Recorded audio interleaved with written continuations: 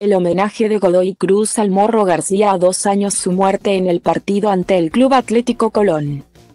Mientras el Club Atlético Colón visita a Godoy Cruz en Mendoza, los hinchas del Tomba no se olvidaron de su ídolo.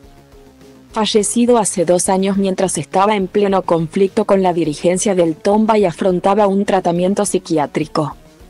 En el minuto 18 del encuentro, separaron las acciones para rendirle un homenaje con globos al cielo y un aplauso interminable. Godoy Cruz, Diego Rodríguez, Pierre Barrios, Gianluca Ferrari y Federico Rasmussen, Lucas Arce.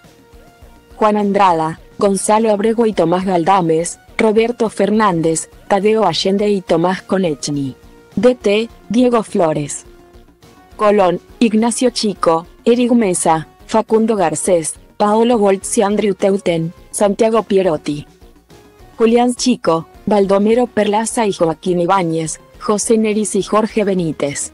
DT, Marcelo Saralegui. El árbitro será Luis Lobo Medina.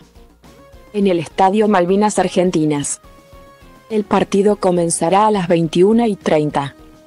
El encuentro será transmitido por ESPN. Lo que se lee ahora.